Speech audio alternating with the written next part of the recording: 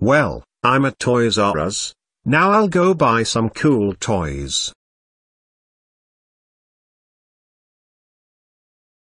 Hey everyone, it's me, Caillou, and for today, I got a new toy in Toys R Us. It's the Sheepie action figure.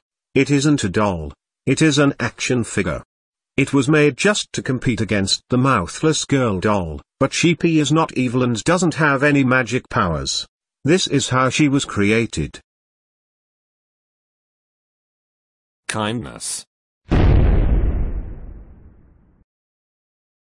cuteness, and human knowledge.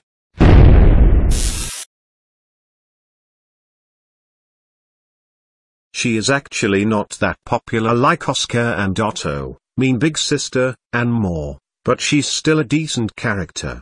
But I wonder which company created this toy. Hmm.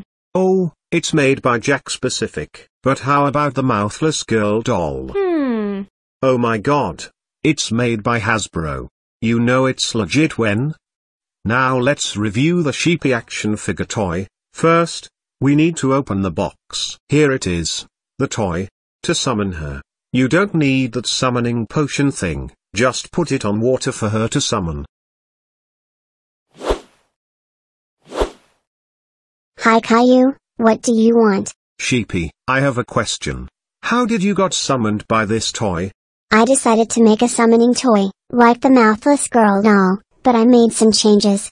I removed all evil spirits and magic, put it in a summon command in it, and fix all bugs. Thank you, have a nice day.